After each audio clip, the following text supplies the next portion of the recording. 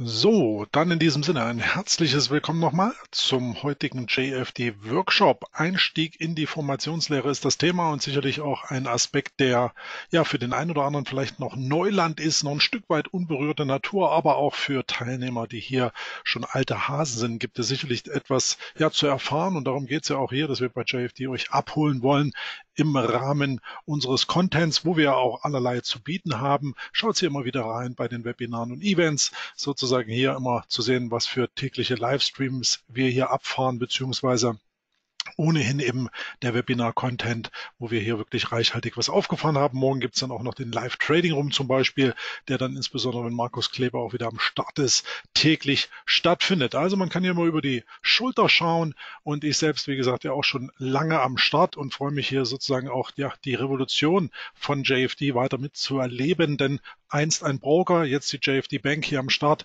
Insofern mit der Übernahme der Wertpapierhandelsbank sozusagen auch den nächsten Schritt getan.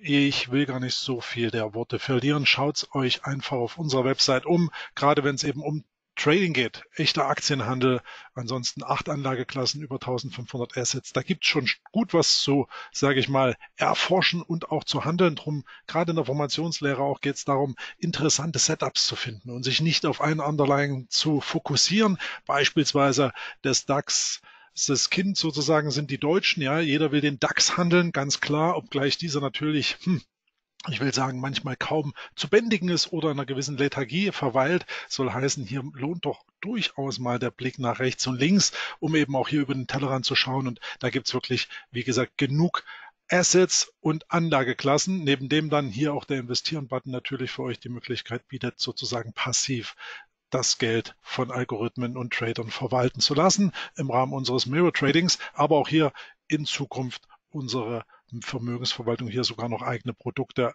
offiziell macht, die wir auch schon seit einigen Jahren haben im Hintergrund. Die wollen wir jetzt durch die Bank auch so ein Stück weit noch nach vorne bringen. Ja, jetzt habe ich direkt ein, angefangen hier sozusagen loszulegen. Ähm, ich will auch gleich mal die Slides starten. Hab hier so an die 120 am Start. Das heißt, das geht gut durch. Nein, Spaß beiseite. Ich weiß es nicht. Rund 30, 20, 25 sind es am Ende des Tages.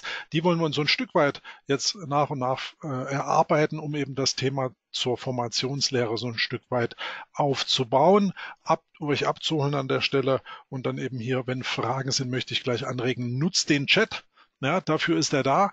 Insofern, dass ihr hier mir Fragen stellt jederzeit, wenn euch irgendwas auf dem Herzen liegt. Ansonsten schiebe ich die Frage auch gern zum Ende hin. Und insofern wichtig, dass ihr auch immer, wie gesagt, auch ein Stück weit die Interaktion nutzt, die ja ein solches Webinar bietet. Ja, ich meine, eine Berieselung ist sicherlich angenehm. Ich weiß auch, dass viele Leser in Social Medias oder Blogs und dergleichen immer passiv dabei sind, überhaupt kein Thema, aber Wachstum generiert man am besten eben durch ja, Austausch, durch Kommunikation auch. Insofern, wenn ihr hier sozusagen an den Start gehen wollt, dann scheut euch nicht, die Tastatur zu nutzen. Ähm, Ulrich schreibt gerade keinen Ton. Das scheint wieder ein Problem zu sein, weil wie gesagt, die Bestätigung kam vorhin schon rein von einigen Teilnehmern, dass der Ton da ist, das Bild auch zu sehen. Insofern freut es mich. So dann. Heute jetzt zum Einstieg in die Formationslehre. Ähm, hier unten seht ihr auch noch den Punkt JFD Workshop Teil 2 des Konzepts was bedeutet das? Dazu komme ich dann gleich mal in den nächsten Slides, weil ihr wisst das wahrscheinlich, ich selbst bin ja schon, und hier übrigens auch nochmal ein kurzer Slide zu mir, ähm, seit einigen Jahren an den Märkten aktiv, um nicht zu sagen bald schon zwei Jahrzehnte. Und am Ende des Tages ist es eben so, dass ich mir mit der technischen Analyse hier tatsächlich eben auch ein Stück weit ja Tiefe ver verinnerlicht habe im Rahmen des Marktverständnisses. Keine Frage, man braucht fundamentale Kennzahlen, ob das jetzt Forex oder Aktien sind. Man muss über den Tellerrand schauen und auch natürlich sozusagen das geopolitische und finanzpolitische Umfeld ein Stück weit im Kopf haben. Das ist gerade die große Herausforderung meines Erachtens auch am Finanzmarkt, weil man sich einfach ja, ein Stück weit am Puls der Zeit auch bewegen muss, informiert sein muss, um eben auch hier wäre dann je nachdem, wie man orientiert ist, gewisse Trends äh, frühzeitig zu erkennen und dergleichen. Also es ist spannend, ähm, auch die Kryptobranche schlägt hier rein, dass man einfach hier äh, Wege hat, um Neues zu entdecken, Neues zu erschaffen und natürlich der Kapitalismus im Sinne des Wachstums und äh, der Forschung und Entwicklung treibt sich natürlich weiter immer voran und das ist ein sehr, sehr spannendes Umfeld. Nichtsdestotrotz geben einem eben die Charts den absoluten Blick auf das Thema der Massenpsychologie. Okay, ähm, so schön die fundamentalen Rahmendaten sind oder auch Tesla Motors schwarze, äh, schwarze, schön wäre es, rote Zahlen schreibt ähm, oder andere Hightech-Unternehmen, die sind trotzdem milliardenschwer bewertet. Die Frage ist, warum ist das so? Weil man eben an der Börse die Zukunft handelt und dass sich nicht immer alles fundamental begründen lässt. Zumal die Price Action, hier seht ihr mal kurz einen kleinen Einblick in meine TA-Werkzeuge, für mich das A und O. Das heißt, der Preis, die Preiseffizienz, das, was der Markt ist bereit zu zahlen für eine Aktie, für einen Rohstoff oder für ein Währungspaar, das ist der Wert, der momentan sozusagen sich spiegelt. Und das ist das Spannende, da man hier mit der Charttechnik sozusagen die Massenpsychologie einfangen kann und hierbei eben auch gerade die Formationslehre ein wichtiger Punkt ist, weil man hier eben das klassische Setup von Wiederholungsmustern fährt und wiederkehrenden Prozessen. Das ist etwas, wo ich auch hier im Weiteren die Saisonalität sehr, sehr liebe. Dazu kann ich dann zum Ende hin auch noch ein Stück weit was zeigen. Das heißt, ich bin ein großer Fan von Saisonalität Saisonalitäten und Zyklen, also wiederkehrenden Mustern, Wiederholungseffekten, nicht nur in der Price Action am Chart, sondern eben auch von, sage ich mal, Rahmenbedingungen, die sozusagen auf Jahre und Jahrzehnte Basis sich sozusagen wiederholen lassen. Ja, das werdet ihr auch kennen, sozusagen den äh, Sell in May and Go Away Effekt und im Oktober zurückkommen und investieren, beziehungsweise der Dezember als bullischer Handelsmonat bekannt, ähm, September die Gold-Indien-Saison und dergleichen, verschiedene Wetterphänomene. Das sind alles Sachen, die man durchaus mit reinziehen muss in die Betrachtung und da bin ich, wie gesagt, ein großer Fan. Ansonsten, wie gesagt, schon seit langer Zeit am Markt aktiv habe ja auch ein bisschen Schmuck am Nachthemd, obgleich ich euch gleich sagen will, Wichtig ist es, dass ihr einfach wie bei allem ein Stück weit Passion entwickelt und da auch natürlich die Faszination im Rahmen der Chartanalyse, des Bewertens, des Tradens, des Investierens verinnerlicht. Ja, das ähm, soll keine Last sein, das muss einfach Spaß machen, man muss einfach die Zeit investieren, um darin zu wachsen. Und auch hier zählt das Prinzip der großen Zahlen. Wenn ihr, sage ich mal, beispielsweise 10.000 Charts gezeichnet habt, dann seid ihr da wirklich schon relativ sicher in dem, was ihr tut. Dann braucht ihr auch gar nicht mehr viele Linien, um irgendwelche Setups zu erkennen. So ist es mir zumindest ergangen. Und ja, ich habe schon mehr als 10.000 Charts bewertet und ausgezeichnet, hätte ich fast gesagt, gezeichnet viel mehr. Und ähm, das ist natürlich das, was mich auch selber antreibt. Ja, und insofern bin ich vom Trading zum Forex-Markt, zum Unternehmen meiner eigenen ähm, sage ich mal, Faszination im Bereich Research gekommen, hier 2008, dann 2013 bei JFD eben noch tiefer eingestiegen, obwohl ich als Freelancer vorher schon hier das ein oder andere Engagement hatte, über Lars Gottwig, der CEO eben hier von JFD, ähm, sozusagen als Bekanntschaft vor der Gründung überhaupt von JFD hier kennengelernt. Und ja, hat sich das Ganze weiter verfestigt. Und seit Januar 2016, ihr seht das, bin ich für den deutschen Raum auch zuständig. Und wie gesagt, neben dem Handel, dem Investieren ist es mir natürlich auch ein Anliegen hier JFD nach vorne zu bringen, weil wir als Game Changer hier tatsächlich in der Brokerindustrie schon viel verändert haben und auch in Zukunft im Banking-Bereich ordentlich aufmischen werden. Das ist spannend. Wir sind sozusagen der kleine David gegen die großen Goliaths, aber der Erfolg gibt uns recht und insofern kommen wir doch gleich mal im Rahmen des Erfolges zu den Proportionen. Leonardo da Vinci lässt grüßen. Ja, Fibonacci, der goldene Schnitt und was es nicht alles gibt sind natürlich Verhältnismäßigkeiten, die sich auch an der Charttechnik orientieren beziehungsweise am Chart wiederfinden lassen und eben die Proportionalität. Gerade Fibonacci bin ich auch ein großer Fan von. Ihr werdet es vielleicht wissen. Ähm, schade, dass ich das Buch über die Harmony Pattern nicht selbst geschrieben habe, aber im Jahr 2019 hatte ich auch im Traders schon verschiedene Veröffentlichungen als Serien zum Thema Fibonacci und den Harmony Pattern. Und das ist schon sehr, sehr interessant, wenn man die Harmonielehre, ähm, also hier gewisse Naturgesetze auch und Wiederholungsmuster auch auf die Charts sozusagen übertragen kann. Und das ist genau das Spannende, dass es hier eben durchaus Verbindungen gibt, die sich jetzt, sage ich mal, über den einfachen Linienchart hinaus erschließen. Das ist eben genau das, was ich wieder sage, es schließt sich der Kreis, dass wir hier versuchen, Wiederholungseffekte zu erarbeiten. Und die gibt es überall. Ja, Die gibt es in der Natur, die gibt es äh, bei Maschinen, die gibt es, ähm, sage ich mal, im Kosmos, die gibt es am Ende des Tages eben auch in der Charttechnik und hier die Preise von und für Menschen gemacht, auch wenn Algorithmen mittlerweile da drin stecken, so sind sie doch von uns programmiert. Und sehr, sehr spannend, dass es eben hier sich immer wieder um das Thema dreht der Wiederholung. Und wenn man da auf Wiederholung geht und ihr eben auch hier zum Beispiel die Charttechnik kennenlernen wollt, und ihr habt vorhin gelesen, Teil 2, zum Konzept der technischen Analyse am Startslide, dann geht es eben hier speziell darum, dass es hier eine Abfolge von Punkten gibt, um sauber am Markt einen Chart zu bewerten. Und ich sage euch das ähm, Konzept ganz simpel. Ich habe ja auch hier bei der Vereinigung der technischen Analysten mein CFDI gemacht, ähm, sozusagen da auch viel Theorie gepaukt. Ob man das jetzt alles braucht, ob man jetzt wirklich 500 Indikatoren kennen muss, sei mal dahingestellt. Aber wichtig ist, man hat in jedes Töpfchen mal geschaut und hat sich sozusagen, wie damals hier oder vorhin in meinem eigenen Slide zu sehen, die Werkzeuge der technischen Analyse ein bisschen erarbeitet. Ob das Heike-Nashi sind, Fibonacci-Pattern oder ähm, Saisonalitäten. Man hat hier immer, wie gesagt, so eine gewisse Faszination für etwas entwickelt und das lohnt sich auf jeden Fall dann auch zu verfolgen. Beim Konzept der technischen Analyse ist es erstmal sehr allgemein umfassend, wie ihr praktisch an einen schlanken, nackten Chart herantretet. Und da sind wir jetzt beim Punkt zwei, denn Punkt eins ist nämlich die Trenddefinition. Die findet sich hier so ein Stück weit wieder, liebe Leute, aber im Weiteren, nachdem man hier klar definiert hat, da gehe ich ganz kurz auch darauf ein, um euch hier abzuholen, falls ihr den ersten Teil nicht kennt, die Trenddefinition ist das A und O. Ja, ohne das geht's gar nicht. Ihr müsst ja erstmal wissen, wo steht ihr denn, oder was ihr sagt, der Chart der Aktie, des Rohstoffes, des Währungspaares, whatever. Aber wo ist das momentan zu finden? Das heißt, ihr müsst eine Trenddefinition durchführen. Ja, und wenn ihr das gemacht habt, dann kommen die nächsten Schritte. Dann kommen wir zum Teil zwei, der heute hier Thema ist, nämlich die Formationsanalyse.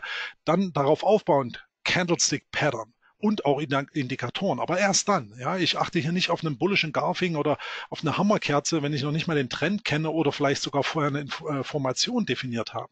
Und das sind die Punkte, die man sozusagen abarbeiten sollte, wenn ihr jetzt eine Aktie nehmt. Und ganz zum Schluss Verbund der Zeitebenen vom Großen ins Kleine, vom Kleinen ins Große, um einfach gewisse sozusagen ja auch Synergien zu entdecken und eben auch hier mit dem großen Trend zu gehen. Das ist wichtig. Und das ist mal das Konzept der technischen Analyse, simpel auf vier Punkte gebracht, wie man hier vorgehen kann.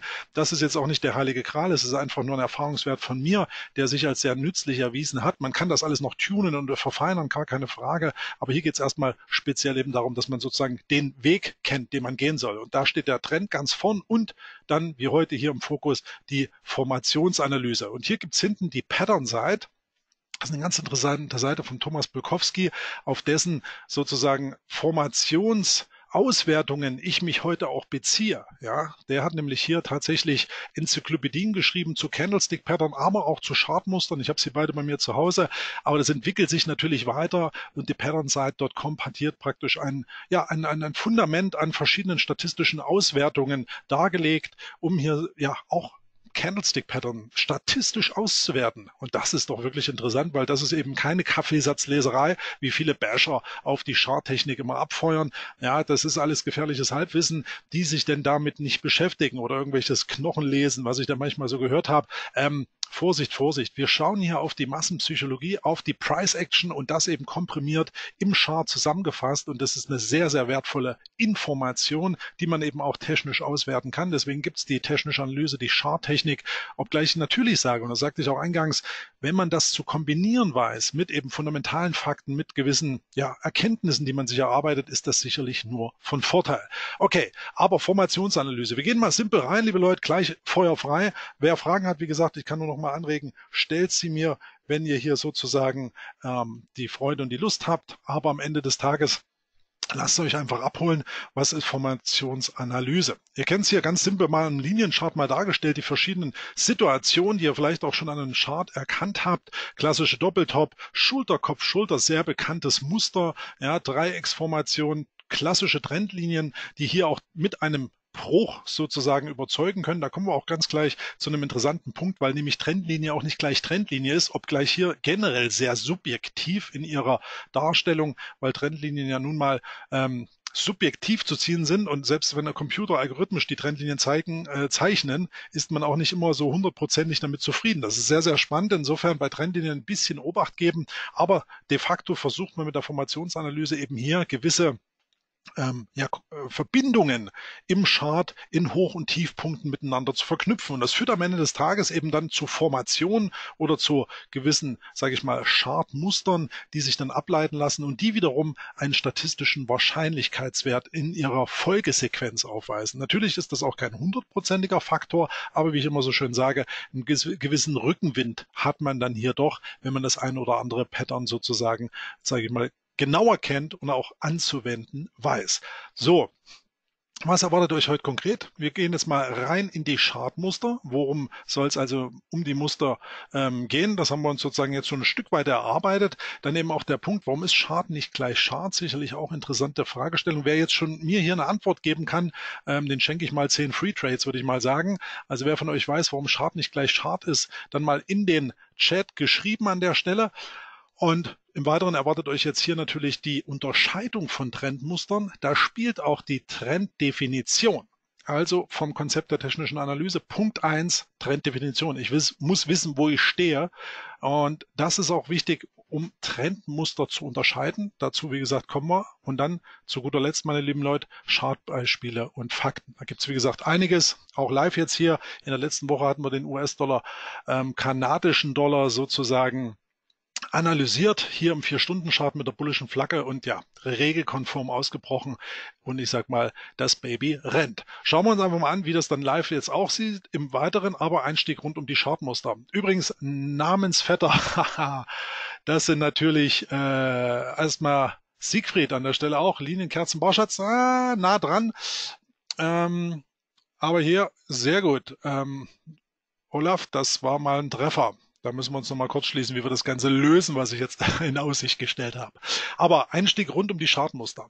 Ich will mich hier kurz halten, weil, wie gesagt, die Zeit schreitet voran und manchmal verliere ich mich ein bisschen in der Philosophie der Charts. Aber ähm, Chart-Technik für mich ist im Nachgang eben das, was die Price Action, wie schon dargestellt, eben veranschaulicht und eben hier das Spiegelbild der Marktteilnehmer ist. Man sieht nicht so auf den Punkt gebracht wie auf den Chart, was eben hier der aktuelle Fair Value von irgendeiner Aktie ist. Und das ist genau das, worum es eben dreht und warum ich auch auf die Charttechnik schaue, wozu ich aber auch hier im Nachgang sozusagen meiner Erkenntnisse Ende der 90er Dotcom-Blase und eben dann der Hysterie und auch großen, ich will nicht sagen Depression, aber die Dotcom-Blase, als sie geplatzt ist, äh, sind ja die Aktienwerte vom neuen neuen Markt damals buchstäblich zusammengebrochen und dann musste man so ein bisschen die Scherben zur Seite räumen und erstmal schauen, wie der Markt eigentlich einzuordnen ist. Und ich habe eben gesehen, dass die Profis eben doch so auf so Linien achten, ja. Und da bin ich eben dazu gekommen, mir autodidaktisch die Charttechnik beizubringen. Da gab es sowas wie heute gar nicht, solche Webinare sensationell. Es gibt natürlich auch viel Content, klar, aber man muss sich so ein bisschen einfach rausziehen, was man mag und auf den Punkt gebracht, eben Massenpsychologie Psychologie und das Tauziehen der Gefühlswelten. Ja. Nirgendwo anders wie eben hier am Chart hat man auch die Phasen der Euphorie, der Gier oder im Umkehrschluss dann der Panik und wiederum Angst so ersichtlich wie am Chart. Ja. Erinnert euch an Bitcoin 2017, ja, Ende des Jahres, wo der hier täglich fast 20, 30 Prozent hochschoss, äh, dann hier knapp die 20.000 Dollar Marke und da ging es schon wieder um Preise, um 100.000 Dollar je Coin und, der, und dergleichen. Aber ich muss zugeben, die Kryptos laufen charttechnisch sehr, sehr schön. Also man hat hier wirklich Chartsequenzen, die man sich aufrufen kann, die wirklich eindrucksvoll ablaufen. Auch nicht jede, ganz klar. Zuletzt gab es eben auch einen Einbruch beim Bitcoin zum Beispiel, den ich jetzt gern hätte noch weiter tiefer gehen sehen. Dann gab es aber hier Ende Oktober eben so ein Movement auf der Oberseite. Klar, dass es nicht immer hinhaut, aber mit Bruch damals der 6000 Dollar Marke ein riesiges Verkaufssignal mit über 40 Prozent Abwertungspotenzial generiert und dann auch abgeliefert. Das war wirklich spannend. Also, auf den Punkt gebracht, Preis-Action Akt, bei Aktien sogar noch die Umsatzverläufe sind nichts anderes als Ding, ding, ding, ding. Jetzt muss es reinkommen. Jawohl. Ausdruck menschlichen Verhaltens. Ja. Und da ist es eben einfach so, dass wir hier tatsächlich über die Punkte eben ähm, Euphorie, Gier, Panik und Angst sprechen. Ähm, das immer, wie gesagt, ist das Tauziehen der Gefühlswolken und nichts anderes spiegeln die Charts wieder. Und das will man genau auch darstellen. Aber Chart ist nicht gleich Chart. Jetzt ist die Frage sicherlich von den einen oder anderen, warum ist das so? Ich zeige euch hier mal einfach zwei ältere Charts und der ein oder andere wird vielleicht sich darüber auch noch gar keine Gedanken gemacht haben, aber es gibt eben hier den Unterschied zwischen linearen und logarithmischen Charts oder hier halblogarithmisch, weil die Preisachse sozusagen eben hier in einer logarithmischen Darstellung zu sehen ist.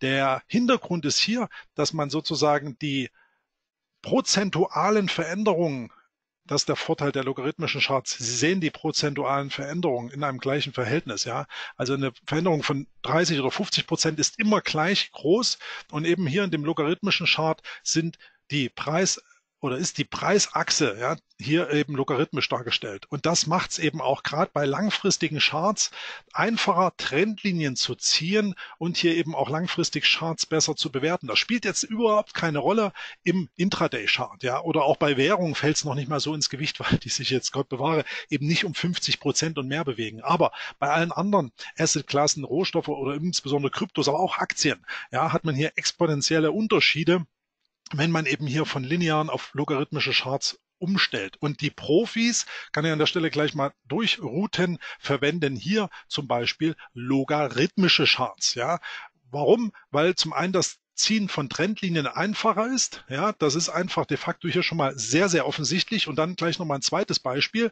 Ähm, hier die Geschichte, jetzt haben wir die Seiten mal getauscht, um das Gehirn ein bisschen frisch zu halten. Ähm, jetzt diesmal, opala, jetzt müssen wir zurück. Hier sehen wir links den linearen Chart und rechts diesmal halb logarithmisch. Das ist die gleiche Aktie, ja, aber mit komplett unterschiedlicher Kursdarstellung in Anführungszeichen. Ja, der Kurswert ist der gleiche, nur der Chart sieht eben anders aus. Und das ist eben etwas tatsächlich, dieses Know-how möchte ich euch einfach mitgeben. Ähm, es gibt auch viele Fans der linearen Charts, gar keine Frage, aber es ergibt meines Erachtens kaum Sinn, hier den linearen Chart, linearen Chart zu verwenden, wenn man denn den logarithmischen nutzen kann. Und gerade insbesondere für langfristige Chartanalysen, für Big Picture Bilder durchaus zu empfehlen. Je kurzfristiger das wirkt, desto weniger spielt es eine Rolle. Im Intraday-Bereich schon mal gleich gar nicht aber einfach hier für die große Analyse wichtig. Und jetzt kommen wir mal zu einem Punkt, bevor wir jetzt zur Formation gehen, sagte ich und kurz noch wieder dabei sein bei mir, ähm, dass die Trenddefinition wichtig ist. Und dazu gibt es auch ein eigenes Webinar, einen eigenen Workshop. Wer Lust hat, auch kurz mal hier in den Chat geschrieben, dann können wir die Webinar-Workshops-Reihe zum Konzept der technischen Analyse direkt gern im nächsten Jahr aufsetzen, so dass wir hier tatsächlich ja, im Wochenzyklus oder jeden Monat einen Workshop machen zum Thema der technischen Analyse und dem Konzept dessen eben, damit wir hier die ganzen vier Punkte, die ich eingangs eben zeigte, einfach mal sauber durchgehen. Und da ist eben der erste Punkt die Trenddefinition. Und ich mache es jetzt mal ganz simpel, nämlich hier mit der Einteilung von Trends. Ja. Relativ simpel ist es natürlich so, ich sage mal kapitalistisches System, dynamische Zahlen, Wachstum, Population, irgendwie ist das alles zum Steigen verdammt. Ja, also ich sag mal, zum Wachstum steigen. Die Proportionen werden größer, dank auch dem Zinseszinseffekt, äh, schon, Zinseszinseffekt und der Inflation haben wir natürlich hier steigende Zahlen. Das wirkt sich natürlich auch auf die Indizes und die Aktienkurse und dergleichen aus. Und de facto gibt es eben hier schon mal simpel gesprochen einen langfristigen Trend. Der sollte idealerweise mh, hm, von links unten nach rechts oben gehen. Okay, jetzt mal vom Chart betrachtet. Das heißt, wir haben hier einen lang, langfristigen Aufwärtsimpuls, den ich jetzt mal hier simpel mit so einer schrägen Trendlinie darstelle. Dieser Trend ist langfristig und sage ich mal, lässt sich wiederum in dem Verbund der Zeitebenen auch kleiner stückeln, so dass wir hier schwuppdiwupp mittelfristige Trends definieren können. Ja, das heißt, es gibt Momente, die dann über Jahre, Monate eben hier eine gewisse Sequenz von steigenden ähm, Preisen aufweisen und dann gibt's wieder mal so ein bisschen das Luftablassen und der Markt kehrt sich um. Das heißt nicht, dass er das im großen Bild tut, aber in einem kleinen Trendverlauf gibt's eben hier den mittelfristigen Trend und der kann eben hier auch durchaus mal nach oben und unten zeigen, obgleich der langfristige Trend generell nach oben zeigt. Dazu dann, wenig überraschend, haben wir kurzfristige Trends, gerade für Intraday-Trader natürlich auch interessant. Das heißt, wo gibt's hier die Impulse, die man denn haben will? Kurzfristiger Natur. Wer hier kurzfristig agiert, kann natürlich da auch durchaus schön versuchen, immer wieder die eine oder andere Trendbewegung mitzunehmen oder eben hier auch mit einem Aktienzief die Short zu gehen oder mit einem DAX-Short oder eben auch Währungen generell auf zwei Seiten spielbar. Das ist, wie gesagt, alles möglich und eben von jedem Zeitfenster aus unterschiedlich zu bewerten. Aber man muss zunächst erstmal wissen, wie ist denn der Trend in dem jeweiligen Timeframe und wie will ich mich denn wo positionieren? Bin ich rein langfristig, mittelfristig oder kurzfristig orientiert? Und dann liest man eben mehr und mehr den Chart im Detail. Und da kommen wir jetzt mal zur Unterscheidung von Mustern. Ja, da ist es nämlich wichtig, welche Muster, kurze Preisfrage, übrigens Edwin an der Stelle danke und auch Clara und auch Christian und auch Thomas und noch zwei, drei andere wünschen sich gern so eine Fortsetzungsserie gern. Also wie gesagt, danke für das Feedback. Ähm, würde ich gern oder mache ich auch gern fürs nächste Jahr mal komplett, dass wir hier einfach mal das Konzept nochmal auflegen. Aber Frage nochmal in die Runde. Unterscheidung von Mustern. Ja, was meine ich denn, wenn ich jetzt von Mustern ausgehe, von Formationsmuster, wie kann ich die denn unterscheiden? Wer hat hier dann mal sozusagen, ich weiß jetzt nicht, wer von den ganzen Teilnehmern schon einem Webinar dieser Art gelauscht hat, aber für alle Neueinsteiger oder die, die es nicht mehr wissen, mal die Frage an der Stelle, was für Formationsunterscheidungen kann ich denn finden? Wer es nicht weiß, auch nicht schlimm, dafür sind wir ja heute hier, dass wir uns das so Stück für Stück erarbeiten. Und man muss natürlich wissen, dass es eben hier, wenn wir bei der Trenddefinition sind, gerade bei der Formationslehre und den Mustern eben darum geht, was für eine Situation sehen wir denn anhand der Muster? Und da gibt es eben hier die Trend Umkehrformation und die Trendbestätigungsformation. Das ist erstmal sehr, sehr interessant. Wir sollten einerseits mal wissen, in welchem Trendimpuls wir gerade stecken, also aufwärts oder abwärts, okay? Und dann kommen hier eben auch charttechnische Formationen, die uns entweder diesen Trendimpuls bestätigen oder schlichtweg umkehren. Und das muss man auch wissen, dass es hier eben Formationen gibt, die einerseits eben eine Umkehr einleiten und andererseits eben eine Trendbestätigung. Und da gibt es, wie gesagt, so Top-Muster, auf die wir uns jetzt mal konzentrieren wollen. Und deswegen schauen wir gleich mal auf die Beispiele für Trendumkehrformationen. Da will ich gleich mal beginnen mit der, also wer weiß es, wer ist, was ist die bekannteste Trendumkehrformation, die eigentlich schon sicherlich jeder von euch schon mal gehört haben wird. Ähm, man liest es immer wieder und es gibt auch gewisse Marktteilnehmer. Ich nenne hier zum Beispiel auch mal ähm, Harald Weigand vom Godmore Trader, ist ein großer Fan von dieser Formation oder auch ähm, der Rocco Grefe zu teilen. Ähm, man sieht sie auch oder man schult sein Auge auch, um solche Formationen zu sehen. Ich sehe sie manchmal nicht so oft, ähm, weil ich jetzt nicht der große, ähm, sage ich mal, Formationsfan von dieser Formation bin. Aber, liebe Leute, da schießt das gerade rein. Edwin wieder, Olaf, Thomas, äh, René, genau.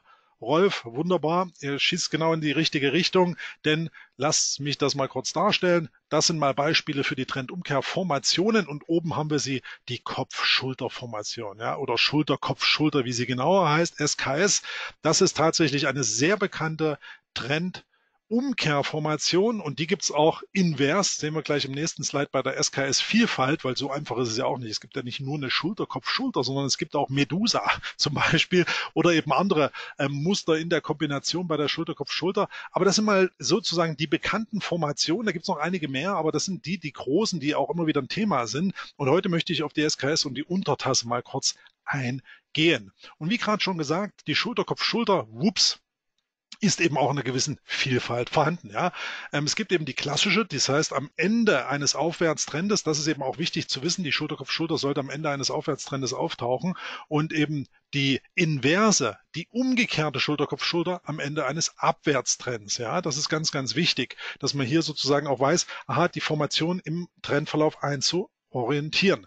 Die komplexen SKS sehen Sie, seht ihr hier unten, äh, gibt es noch Schulter-Schulter oder Kopf-Kopf-Formation. Da ist natürlich auch, ich will sagen, ein bisschen kreativer Spielraum erlaubt. Ähm, am Ende des Tages muss auch das Auge geschult werden für solche Formationen, weil, wie gesagt, so ideal, idealtypisch, wie ich sie auch gleich mal zeigen werde, tauchen sie natürlich nicht immer am Markt auf. Aber man kann sie lesen, man kann sie ich will sagen, vorherahnen und ein Stück weit eben antizipieren, wenn man denn weiß, mit welcher Formation man es zu tun hat. Und es geht jetzt nicht darum, dass ihr jetzt 50 Formationen auswendig lernen müsst, sondern dass ihr euch nach und nach mit den Großen beschäftigt und dann so ein paar, sage ich mal, Finessen herausfindet, wie man hier sozusagen mit diesen arbeitet. So, und dann kommen wir mal zum Chartbeispiel. Das ist jetzt mal wirklich ein idealtypischer Verlauf, aber um den abzuholen, der sozusagen Einsteiger ist, weil ich vorhin auch die Frage hatte, ähm, ob man auch an, als Einsteiger an diesem Webinar teilnehmen kann. Natürlich, ähm, auch wenn es vielleicht jetzt ein bisschen viel Informationen sind, soll es natürlich darum gehen, dass ihr euch so ein Stück weit eben auch äh, in das Thema geholt fühlt. Ja, und da will ich euch natürlich an der Stelle auch mal sinnbildlich zeigen, wie so ein super Musterbeispiel aussieht und de facto SKS Trendumkehrformation am Ende eines Aufwärtstrendes. Ein Aufwärtstrend definieren wir mit einem höheren Hoch gepaart mit einem tieferen Hoch, ähm, ein höheres Hoch und ein tieferes ein höheres Tief, so rum, jetzt habe ich es, meine Güte, ähm, um hier sozusagen einen Aufwärtstrend zu definieren. Ja? Und das lässt sich schon mal simpel abzeichnen. Und dann ist das natürlich so, im Rahmen einer Trendbewegung gibt es auch immer wieder Konsolidierung oder Korrekturphasen. Ja, die können jetzt beispielsweise auch dann zu einem Bruch der Trendlinie führen und gelten schon mal als gewisses Warnsignal. Aber de facto haben wir hier im Rahmen dieses Aufwärtsimpulses, dieses neuen Hoch, diesen ähm, höheren Tief, dann hier wieder ein höheres Hoch und jetzt natürlich die Idee, hey, jetzt machen wir wieder ein höheres Tief, aber nein, dann wird der Trend gebrochen und die Frage ist, wie geht's weiter? Da hat man natürlich in der Charttechnik die Situation, dass es dann unter Umständen einen kleinen Boden geben kann, idealerweise nahe des Vorgängertiefs. Und jetzt seht ihr schon hier, sage ich mal, die Verbindung zum Schulterkopf-Schulterbild, zum menschlichen, ähm, äh, zur menschlichen Erscheinung. Denn schwuppdiwupp, das kann man genau so darstellen. Und idealerweise findet sich dann sozusagen das Tief der letzten Bewegung an oder im Bereich des Tiefs der vorherigen Bewegung und dann hat man hier sozusagen diese Nackenlinie. Und das, meine lieben Leute, ist mal eine idealtypische Schulterkopf-Schulter-Formation, die auch mit einer schrägen Nackenlinie zum Beispiel noch interessanter wirkt, die ein Stück weit versetzt sein kann. Aber um euch mal zu sagen, wie die eben aussieht, sehen wir es jetzt mal hier in dem Moment recht deutlich. Dann ist die Frage, wie geht's weiter? Schulterkopf-Schulter-Trend umkehren. Naja nun, wir haben ja schon einen Trendlinienbruch gerade gesehen und eigentlich sollte der Preis wohl nach unten gehen. Und ja, mit diesem neuen, neuen Tief, mit dem Bruch der Nackenlinie, hat man die Situation der bestätigten Schulterkopf-Schulter. De facto kann man aber auch schon unter Spekulationsgründen mit dem Aufbau der rechten Schulter eigentlich schon beginnen, Positionen aufzubauen, um möglicherweise Short-Positionen in dem Zusammenhang, um dann möglicherweise an dem nächsten Abwärtsimpuls teilzunehmen. Sollte die Schulter, wenn man hier spekulativ schon in diese Erholungsbewegung reingeht, natürlich nicht zur Schulter-Kopf-Schulter-Formation ausarten, sondern hier das letzte Hoch des Kopfs sozusagen überwinden, dann hat sich die Formation eh erledigt und der Spekulation wäre ein Ende geebnet. Das heißt, hier ganz wichtig, Stop-Loss. Risikobegrenzung, Risiko mit einem Stop-Loss bemessen und ganz klar da auch die Reißleine ziehen und hier nicht einfach, und das ist das größte Manko bei vielen Privatanlegern, hier wird irgendwas gekauft und der Stop-Loss entweder gar nicht gesetzt oder so weit himmelweit weg, dass man Chance-Risiko-Verhältnisse hat, die im Negativen liegen. Und das funktioniert langfristig nicht. Wichtig wirklich mit dem Risiko zu arbeiten und auch dafür ist die Charttechnik sehr, sehr gut geeignet, um anhand charttechnisch markanter Marken Ein- und Ausstiegspunkte eben zu definieren. Und bei der Schulter, Kopf-Schulter könnte man sozusagen hier schon in die Schulter reingehen, aber mit dem Bruch der Nackenlinie aktiviert sich eben die Schulterkopfschulter als Umkehrformation, weil eben ein tieferes Tief gemacht wurde. Das heißt, wir haben hier ein Tief, ein tieferes Hoch und jetzt kommt ein tieferes Tief hier mit dem Bruch der Nackenlinie. Und jetzt interessant, in circa 50 Prozent der Fälle gibt es einen Pullback oder Rückkehrbewegung an der Stelle.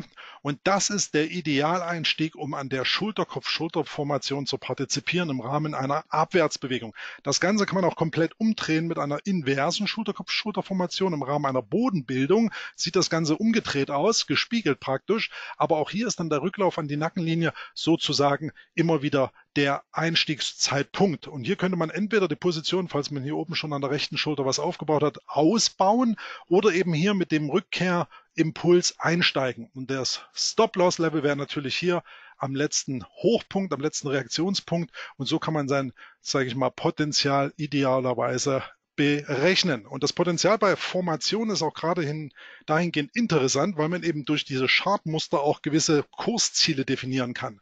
Und das hängt damit zusammen, dass man anhand der Vergangenheit und anhand der Erfahrungswerte der Formation eben gewisse Projektionen betreiben kann. Und bei der Schulterkopf-Schulter sieht es zum Beispiel so aus, dass man vom Kopf bis zur Nackenlinie diesen Preisimpuls misst und das Ganze dann praktisch wiederum von der Nackenlinie in die Zukunft projiziert, wo das theoretische Kursziel dieser Formation liegt. So, und wenn wir hier sozusagen diese Preisspanne haben, die sie nach unten abtragen, dann sehen wir jetzt mal Pi mal Daumen, dass das Stop-Loss-Level knapp die Hälfte von dem möglichen Risiko ist.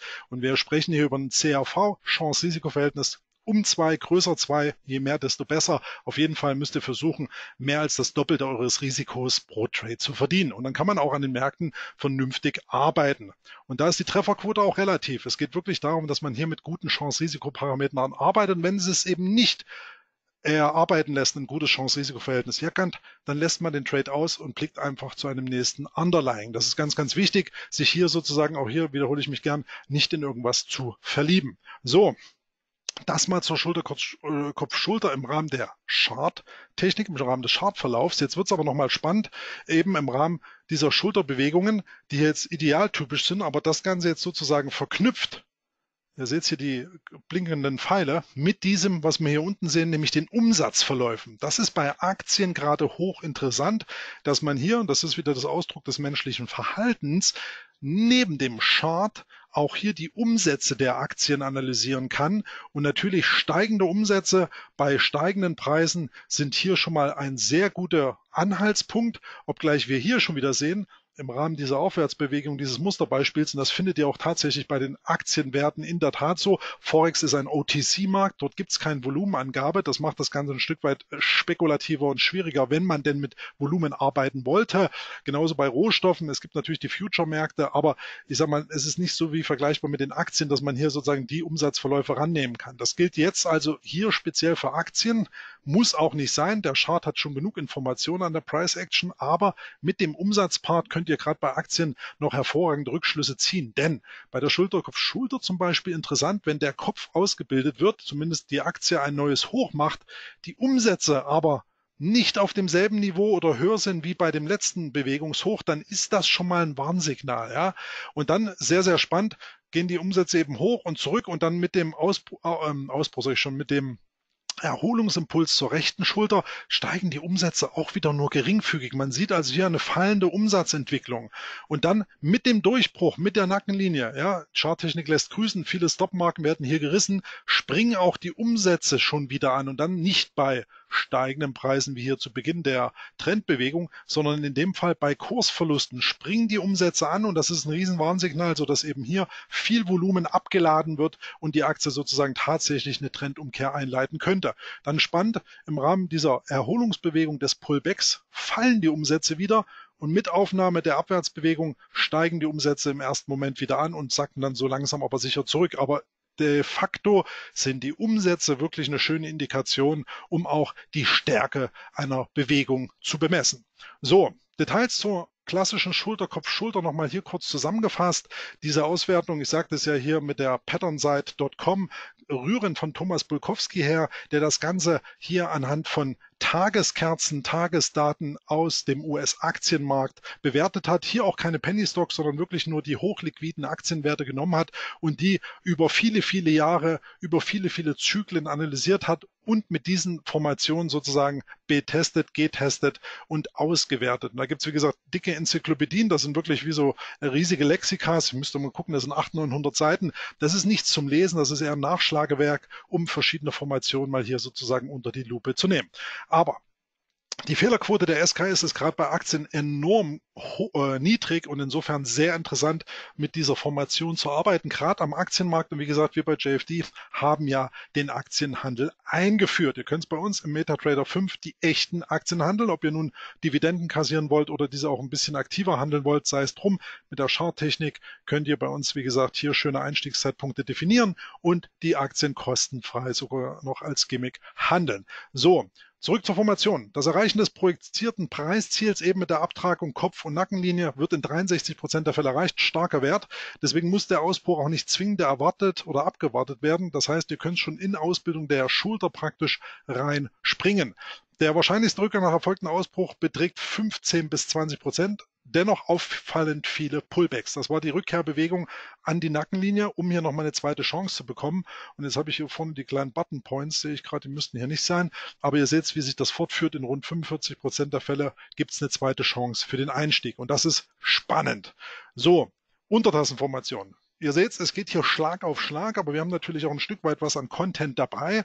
Und ich hoffe, wie gesagt, ihr seid noch alle bei mir. Wer hier noch eine kleine Trinkpause braucht, sagt kurz Bescheid. Ansonsten machen wir natürlich jetzt hier schnurstracks weiter.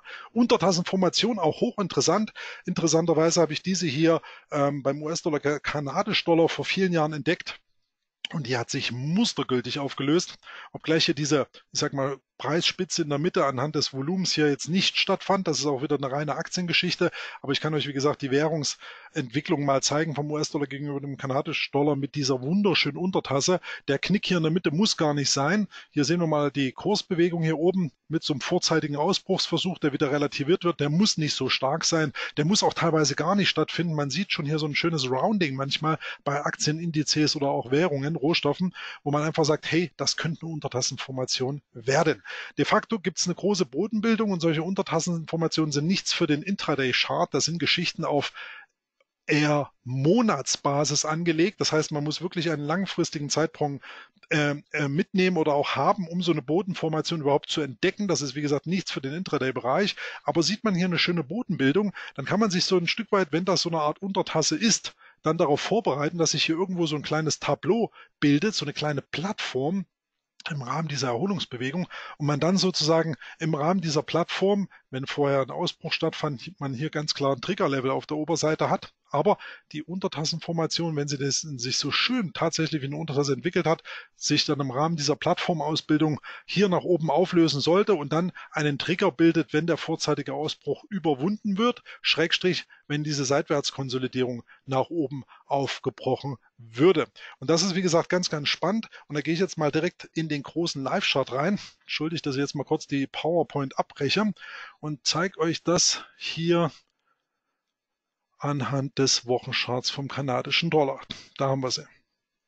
Das ist die Untertassenformation, die sich hier im Jahr 2009, ja, 10 sozusagen ausbildete. Man sieht hier eine gewisse ja, eine gewisse Unruhe, aber man sieht sehr schön, wie sich hier der Boden ausbildet. Das ist auch wieder ein Stück weit, ich will sagen, ähm, es liegt immer im Auge des Betrachters, aber man muss natürlich hier auch schon ein Stück weit mutmaßen, was passiert denn hier eigentlich und auch gewisse Sachen miteinander kombinieren. Äh, kombinieren. Und da sehen wir eben einen großen Abwärtsimpuls, ein Stück weit eine Bodenbildung, die dann auch hier sozusagen ihren Anlauf nach oben nimmt. Dann hat man hier noch schöne Horizontalzonen, hier sogar auch einen vorzeitigen Ausbruchsversuch. Und hier sieht man interessanterweise, wie das Level, das war damals hier so um die 1,070 nach oben aufgelöst wird.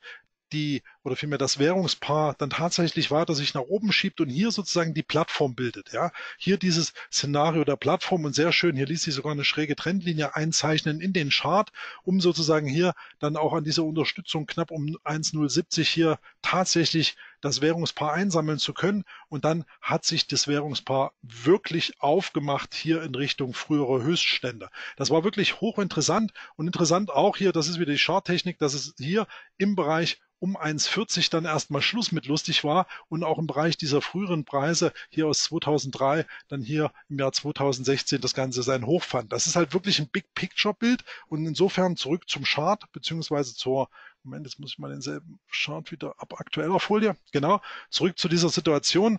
Ähm, man muss einfach auch ein Stück weit das Chart lesen lernen, ja, und auch hier ein Stück weit reinschauen und hinter die Kulissen ähm, blicken am Ende des Tages. Also die Untertasse bildet sozusagen hier die Plattform, das Tableau, auch als, genauso ist es, Olaf, auch als Henkel bezeichnet. Und dann hat man im Prinzip das Ganze, was dann hier einlädt für einen Umkehrtrade. Das heißt, die Untertassenformation signalisiert ja hier die Trendumkehr und das Ganze entwickelt sich dann entsprechend nach oben. Statistisch klare Vorteile, wie wir hier sehen, auch zu Beginn natürlich ein lang andauernder Prozess. Hier geht es nicht um Tage oder Wochen, hier geht es eher um Monate. Fehlerquote sehr gering. Auch hier der wahrscheinliche Anstieg auf Aktien bezogen 20 Prozent und in 36 Prozent der Fälle wird das projizierte Preisziel erreicht. Das ist jetzt nicht so viel, aber das projizierte Preisziel ist eben mit dem mittleren Ausbruch sozusagen abzutragen und der findet gar nicht immer statt. Grundsätzlich aber die Formation selber sehr, sehr interessant. Daher aber auch wegen dem geringen projizierten Preiszielfaktor Trailing Stops verwenden. Könntest du bei uns bei JFD auch automatisch einstellen, dass sich hier sozusagen nach gewissen Bewegungen der Stop Loss automatisch nachzieht. Ganz wichtig, Stop Loss, ich kann nur immer wieder davon reden, ihr müsst euer Risiko im Griff haben. Das ist das Einzigste, was ihr beeinflussen könnt am Markt. Risiko definieren, Trade-Idee ausfindig machen und dann geht's los. So, der Umsatzverlauf ähnelt ebenso einer Untertasse einer Schüssel und das ist das, worauf es ankommt. Jetzt, liebe Leute, Action Jackson. Wir gehen gleich auf die nächste sozusagen Formationsebene und hier sind wir bei den Trendbestätigungen. Ja, wir hatten jetzt gerade die Trendumkehrformation, sprich wir haben einen Aufwärts- oder Abwärtsimpuls und dann kommen solche großen Chartformationen, die uns dann hier eben eine Trendwende andeuten. Es muss nie kommen, es kann passieren. Und hier haben wir das Ganze für Trendbestätigung. Spannend. Das heißt, wir haben einen intakten Trend auf- oder Abwärtstrend. Und in diesem Trend gibt es eine Konsolidierungsphase. Das heißt, die Aktie oder das Rohstoffpaar, hätte ich jetzt fast gesagt, äh, Gold zum Beispiel bei uns XAU US-Dollar als Währungspaar im Interbankenmarkt handelbar, der Spotpreis, ähm, hat man dann hier sozusagen die Situation, dass man in diese Bewegung, in diese Konsolidierung reinkaufen kann, um an einer Trendfortsetzung teilzunehmen. Das ist das Thema Trendumkehrformation hatten wir. Jetzt kommt die Trendfortsetzung oder auch Trendbestätigungsformation. Und hier seht ihr einige Beispiele dafür. Da gibt es auch, wie gesagt, einige mehr. Das sind jetzt mal hier die Tops an dieser Stelle. Flaggen und Wimpel bin ich großer Fan von. Rechtwinklige Dreiecke genauso. Also so Trendbestätigungsformationen gefallen mir echt noch besser als die Trendumkehr, weil diese sind auch so ein bisschen mit Würze gesät. Und interessanterweise haben wir auch jetzt hier beim US-Dollar, Kanadisch-Dollar letzte Woche eben die bullische Flagge gehabt. Und hier sehen wir schon die Flaggen, die will ich auch jetzt ein Stück weit beleuchten im Rahmen dieses Chart-Beispiels wieder. Und zwar zur Linken geht's los. Eine Flagge, was ist der vorauflaufende Impuls? Man muss hier mal einen starken Bewegungsimpuls haben. Das Ganze nennt sich Flagge, weil wir hier wieder so ein bisschen ähm, ein Sinnbild wieder der, der Wirklichkeit nehmen. Ähm, Rahme, das heißt Fahnenmast sozusagen, Fahnenstange und dann bildet sich letztlich die Fahne aus. Das sehen wir hier sehr schön, eine Flagge. Ja, hier kommt der Fahnenmast und hier kommt die Flagge ran. Da ist auch die, die Ideologie des Namens dahinter. Das heißt, man sucht so immer so Assoziationen, wie bei der Schulterkopf-Schulter haben wir eben jetzt die Flaggenbildung. Und da muss eine dynamische Vorbewegung erfolgt sein. Ja? Das muss dynamisch gewesen sein. Wenn man hier irgendeinen so Geplänkerer hat, einen Mini-Impuls, dann bringt das mal gar nichts. Idealerweise eben hier ein schöner Aufwärtsimpuls. Dann gibt's hier diese ganz simple Flaggenstrukturen. Das kann jedes vierjährige Kind einzeichnen. Das ist noch nicht mal hochwissenschaftlich am Ende des Tages. Aber de facto ist es eben wichtig, dass man sowas sieht, identifiziert und dann am Ende des Tages auch abfeuert. Nämlich dann, wenn diese Flagge aufgelöst wird. Und das wird dann der Fall sein, wenn hier diese Flaggenformation im Rahmen dieses Abwärtstrendkanals gebrochen wird oder wenn hier die letzten Reaktionshochs nach oben oder hier in dem Fall tieferen Hochs, also hier praktisch ein höheres Hoch, dann gab es das Tief, dann gab es ein tieferes Hoch, noch ein tieferes Tief, tieferes Hoch, tieferes Tief und das ist eben hier die Konsolidierungssituation. Und dann, wenn der Preis ansteigt und das letzte tiefere Hoch oder insbesondere das letzte Ausgangshoch überwindet, das ist eigentlich hier der Zähler an der Stelle. Also ähm, von der Projektionslehre geht man von diesem Ausgangspunkt des letzten oder des ersten Bewegungsimpulses aus. Das ist das entscheidende Hoch. Und wenn das überwunden wird, dann ist es auf jeden Fall der Kauftrigger. Aber man kann auch schon aggressiv mit Ausbau aus der Flagge einsteigen und hat dann sozusagen hier dieses Gardemaß im Rahmen der Bewertung. Und hier sieht man das Mindestkursziel, hier ist das Stop-Loss-Level. Man kann auch schon aggressiv in diese Flagge hinein kaufen mit gestaffelten Orders zum Beispiel, aber de facto hat man hier auch ein recht dynamisches Folgeziel. Das ist auch das Kennzeichen der Flagge. Wenn die auftaucht, dynamischer Vorimpuls, kurzweilige Konsolidierung. Hier rede ich auch nicht über eine große Trendkanal Abwärtsbewegung in dem Fall jetzt über mehrere Wochen, sondern es muss ein kurzfristiger Effekt sein. Das heißt, hier wird kurz Kasse gemacht, hier werden kurz Gewinne mitgenommen, aber der Trend ist intakt und das findet sich auch entsprechend in der Trendfortsetzung wieder, wenn der Ausbruch kommt und dann gibt es eben hier einen dynamischen Aufwärtsimpuls. Kurz hier auch die Umsatzgeschichte bei Aktien.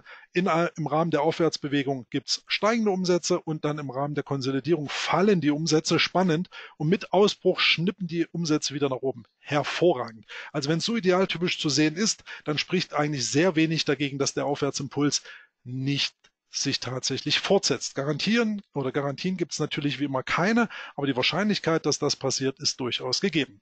So, Ähnliches Beispiel kommen wir jetzt zum Wimpel. Ja, das ist eigentlich genau das gleiche wie die Flagge, nur zeichnet sich die Formation in dem Fall nicht durch die Flagge, sondern durch einen Wimpel ab. Das heißt, hier gibt es so eine, eine Kontraktion des Preises hier im Rahmen so einer Dreieckbewegung dann und dann schnürt sich der Preis zusammen und auch die Umsätze gehen zurück im Falle einer Aktie und dann gibt es auch hier wieder diesen Ausbruchsimpuls. Auch dieser muss dynamisch erfolgen, genau wie der vorhergehende Price Impuls. Das heißt, man muss hier immer wieder auch da einen starken Aufwärtsimpuls sehen, leichte Konsolidierung und dann muss die Party direkt weitergehen und im Rahmen dessen hat man auch hier eine entsprechende Mindestkurszielprojektion. Lasst uns in dem Zusammenhang kurz noch die Details beleuchten. Wie schon von mir dargestellt, dynamische Vorbewegung ist zwingend, ohne die geht's gar nicht. Der Ausbruch muss sich hier an der Stelle auch dynamisch fortsetzen, sonst geht's genauso wenig. Ein Prozess von wenigen Tagen, wenn die Formation länger dauert, dann hat man auch entsprechend höhere Fehlerquoten. Rückläufiger Umsatz, wie schon erwähnt, absolut perfekt. Jetzt ist spannend, dass die Flagge statistisch gesehen übrigens der Gewinner im Vergleich zum Wimpel ist. Warum werden wir gleich sehen? Aber hier die Fehlerquote enorm gering bei Long Setups, bei Short Setups ähm, mit 12 Prozent wirklich sehr, sehr gering. Ausbruchsimpuls liegt bei 19 Prozent. Ähm, Pullbacks 20 Prozent sollten idealerweise nicht erfolgen, aber die sage ich mal, statistischen Daten, die ihr hier seht bei den Flaggen, sind tatsächlich stärker, weil die Fehlerquoten, und das ist das, wo ich jetzt gleich drauf komme, zum Beispiel beim Wimpel höher sind, wie wir jetzt gleich sehen werden. Schaut euch das an. Die Fehlerquoten sind wesentlich höher, projizierte Preisziel ist auch weniger und insofern statistisch der Verlierer zur Flagge, also rein statistisch. Deswegen muss ich aber ehrlich sagen, wenn ich eine, einen sauberen Wimpel sehe, handle ich den genauso gern wie eine Flagge, da mache ich auch nicht wirklich den Unterschied. De facto ist es einfach hier, dass man diese Situation einfach sehr schön ausnutzen kann, wenn sie denn kommt. Und dazu will ich euch kurz in den Live-Chart wechseln, weil wir waren ja bei der Flagge und beim Cut, beim kanadischen Dollar. Und da hatten wir letzte Woche beim Devisenradar Webinar übrigens immer mittwochs hier die Situation, da seht ihr es hier schon im Tageschart. Gehen wir jetzt mal hier in den 4-Stunden-Chart zurück. So. Dyname, also wir haben einen Abwärtsimpuls, hier gab es eine Bodenbildung sozusagen und hier deutet sich eine Trendfortsetzung an im Rahmen dieser Umkehrbewegung hier. Also da kann man jetzt ein bisschen philosophieren, warum ist das eine Trendfortsetzungsformation, äh, wenn doch der kanadische Dollar vorher gefallen ist. Für mich ausschlaggebender Punkt war, dass es hier diesen Ausbruchsimpuls gab Ende Oktober, ja, und dann hier diese Seitwärtskonsolidierung im Vier-Stunden-Chart wohl bemerkt, ähm, in kurzfristiger Natur. Und dann hatten wir hier genau das Webinar. Und hier bin ich auch reingegangen in einen Long beim US-Dollar gegenüber dem kanadischen Dollar. Und jetzt kommt es ganz spannend. Ich hatte dieses charttechnische Setup, diese charttechnisch bullische Formation sozusagen und zeitgleich hier dieses saisonale Setup vom US-Dollar gegenüber dem kanadischen Dollar mit Einstiegsdatum 4.11. Das heißt, hier ein saisonales Muster, können wir auch nochmal reinschauen, mit Blick auf die letzten vier, ja, 24 Jahre ganz genau, hat sich hier der US-Dollar gegenüber dem kanadischen Dollar im Zeitraum machen wir uns kurz kleiner, im Zeitraum vom 4.11. bis 18.11. eben mit so einer Performance entwickelt. Das ist sehr kurzfristig, klar, aber ich habe statistisch hier den Rückengewinn gehabt und das Beste, jetzt kommt noch eins oben drauf, hatte ich hier praktisch mit meinem anderen ähm, Seasonal Tool, und das ist das, was ich eingangs auch darstellte mit den Saisonalitäten, gab es nämlich auch hier das Setup vom 6.11. sogar bis Ende Dezember ein bullisches Setup über 13 Jahre hier ähm, im Rahmen des US-Dollar gegenüber dem kanadischen Dollar mit der Möglichkeit hier an diesem Aufwärtsimpuls, der denn jetzt wahrscheinlich vor uns steht, zu partizipieren. Und hier das Spannende, dass ich sozusagen auch da die Brücke schlage. Ich schaue mir Charttechnik an, ich schaue mir charttechnische Muster an, aber ich achte auch auf Rahmenbedingungen, wie zum Beispiel natürlich Leitzinsentscheidungen der US-Notenbank oder aber auch natürlich am Ende des Tages dann eben hier die Price Action. Und wenn dann eben ein bullisches Setup auftritt, ich ein bullisches, sage ich mal, saisonales Setup habe, dann finde ich das spannend. Und wenn meine beiden Tools hier sozusagen dann auch noch in die Grätsche schlagen, hier ein bullisches Signal auszusenden, dann ist das ganz spannend. Übrigens, für alle, die es interessiert, der Seasonal Bull, ich sage es auch gern wieder an, ich konnte nämlich mit dem Entwickler hier ein Engagement treffen, dass JFD-Kunden hier 25 bis 50 Prozent Preis ähm, Vorteil erhalten. Und hier gibt es, wie gesagt, bei der Übersicht nicht nur Währungspaare, sondern ihr kriegt hier ein ganzes Fundament an saisonalen Mustern von Aktien, Indizes, hier auch länderbezogen, ähm, Futures sogar. Also es gibt hier eine ganze Brandweite. Schaut euch das mal an, wer Interesse hat, da einfach mal am Ende des Tages hier bei JFD melden. Da habe ich auch gleich, Moment, jetzt gehe ich nochmal auf die aktuelle Folie haben dann gleich noch ähm, die Support-Angabe da. Da könnt ihr euch, wie gesagt, auch damit mal auseinandersetzen. Jetzt möchte ich aber auch noch mal eine Trendfortsetzungsformation sozusagen ähm, definieren, die auch sehr bekannt für viele von euch sein dürfte, denn wir haben hier, äh, Link. Stelle ich gern rein, Christian, Servus an der Stelle, grüß dich, schön, dass du dabei bist. Ähm, stelle ich auf jeden Fall am besten gleich mal rein, sonst verlieren wir es wieder. Moment, so, Seasonal Bull äh, Moment, ich stelle es mal in den Chat. Könnt ihr euch das mal anschauen? Und wer da Interesse hat, wie gesagt, unseren Support anschreiben oder direkt mich. Meine E-Mail-Adresse gibt es gleich. Von den Setups, wie sie denn sind. Und da könnt ihr euch hier ganz klar anschauen, was es sozusagen gibt und welche Vorteile man da erhaschen kann. Wie gesagt, schöner Preisvorteil ist da auf jeden Fall gegeben. So, ab zur aktuellen Folie. Wir sind ein bisschen in Zeitdruck, aber das soll uns gar nicht stressen. Steigendes Dreieck. Wird jeder von euch kennen, hat jeder sicherlich auch schon mal gesehen, sowohl in der Theorie, wahrscheinlich aber auch durchaus in der Praxis. Ganz simpel, auch hier wieder kann jeder, sage ich mal, ähm, Grundschüler beziehungsweise wirklich auch schon ähm, Kindergarten theoretisch definieren. Ganz simpel, man hat einen Aufwärtsimpuls, aber es bildet sich am Ende des Tages hier so eine Art Widerstandsbereich. Dennoch gibt's dann tiefere, äh, höhere Tiefpunkte, sodass sich hier eine Art aufsteigendes Dreieck, geometrisches Dreieck sozusagen hier entwickelt, was aber gekennzeichnet ist durch einen klaren Widerstandsimpuls auf der Oberseite.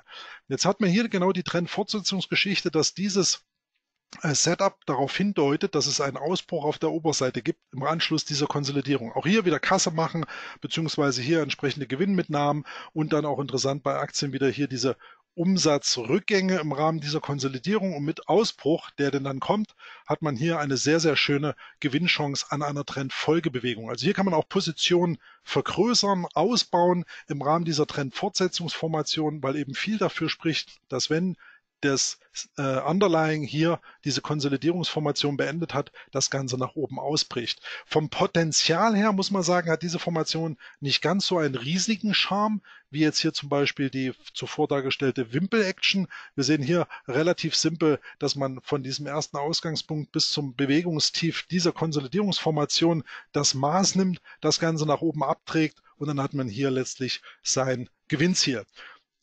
Simple Formation, aber durchaus effektiv im Rahmen einer Trendfortsetzung. Ihr seht das, die Aktie kommt aus einem Aufwärtsimpuls, konsolidiert und setzt diesen Aufwärtsimpuls fort. Hier noch ein paar Details nach Thomas Bulkowski. Spannend an der Stelle, dass die Fehlerquote sehr gering ist dass der Kursanstieg auch wenigstens 20 Prozent beträgt, im Schnitt sogar noch wesentlich mehr. Das erreichte projizierte Preisziel, und das ist natürlich stark, liegt bei 90 Prozent, ist aber auch darin begründet, dass es natürlich relativ wenig im Vergleich zum Wimpel oder zur Flagge ist. Ja, also das projizierte Preisziel ist einfach kürzer, deswegen wird es in der Masse häufiger erreicht. Vorzeitige Ausbrüche gibt es auch und der Umsatztrend idealerweise fällt während der Formation. Nichts Neues, das ist immer wieder dasselbe Lied, aber wenn ihr eben auch hier Aktientrading, Rohstoffe oder auch ähm, Währungen handelt, sind die Umsätze nicht definierbar, aber nichtsdestotrotz solche Formationen genießen dennoch ihre Relevanz.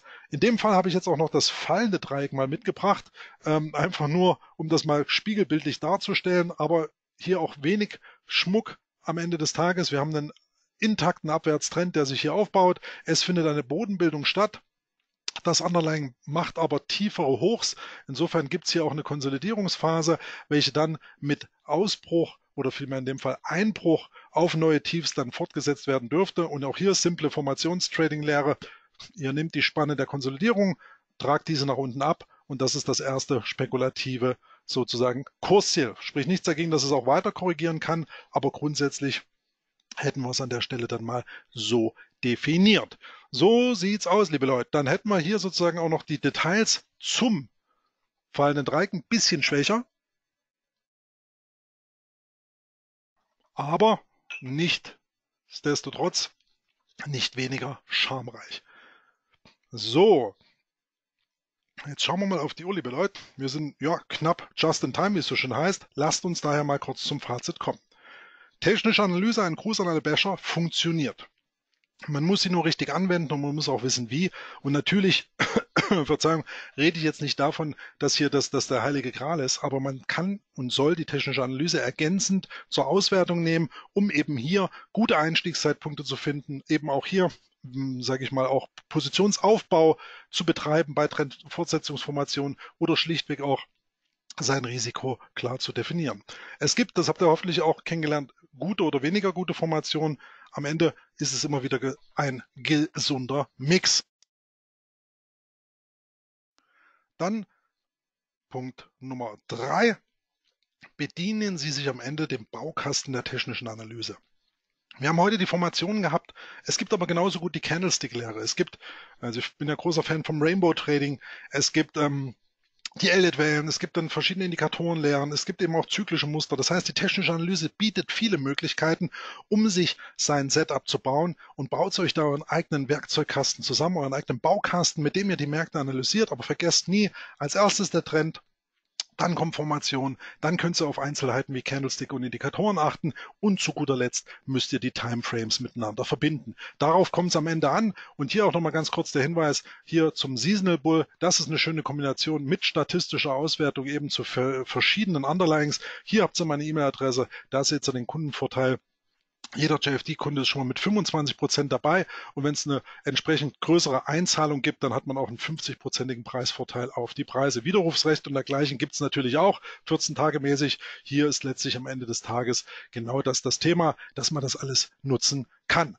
Ich sage an der Stelle auf jeden Fall vielen, vielen Dank für die reichhaltige Teilnahme. Hat mich auf jeden Fall gefreut, dass ihr mir hier so angenehm gelauscht habt, dass ihr dabei wart. War mir auf jeden Fall eine Ehre, dass ich euch hier abholen konnte und ich hoffe, euch neben, ja, sage ich mal, den technischen Rahmenaspekten auch wirklich hier wieder ein Stück weit ja, Unterhaltung mitgegeben zu haben, dass ihr einfach Spaß dran habt. Ich lebe technische Analyse seit knapp 20 Jahren. Gut, 99 hatte ich noch nicht so viel damit zu tun, aber 2002, 2003 fing das an, habe ich in den ersten Blogs geschrieben und mich eben damit auseinandergesetzt. Und wie gesagt, jedem Basher sei erklärt, dass natürlich technische Analyse nicht der heilige Kral ist, aber sie eine hervorragende Ergänzung ist, um an den Finanzmärkten zu navigieren.